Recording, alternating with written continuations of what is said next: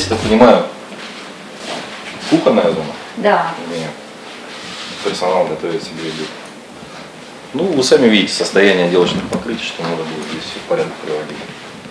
Ремонт не проводился, как понимаю, достаточно давно. Давно, да. Здесь заменят пол, переделают стены, поменяют электрику и сантехнику. Ремонта в здании скорой помощи не было 15 лет. Этим летом помещение капитально обновят. Сотрудниками нашего управления были проведены мероприятия по определению степени ущерба и текущего состояния здания.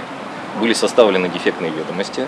На основании их э, были составлены сметные расчеты, которые были впоследствии переданы в государственную экспертизу на прохождение и установление достоверности сметной стоимости. Станция скорой помощи преобразится как внутри, так и снаружи. Это капитальный-текущий ремонт объекта, который подразумевает собой полностью э, замену отделочных покрытий на более современные практичные материалы. Это замена внутренней инженерной, инженерных коммуникаций систем на, э, э, ну, на какие-то современные аналоги. Для того, чтобы было комфортно дежурной бригаде проводить здесь свое время во время дежурства. В ближайший месяц будет определен подрядчик, а закончить ремонт планируется уже в октябре.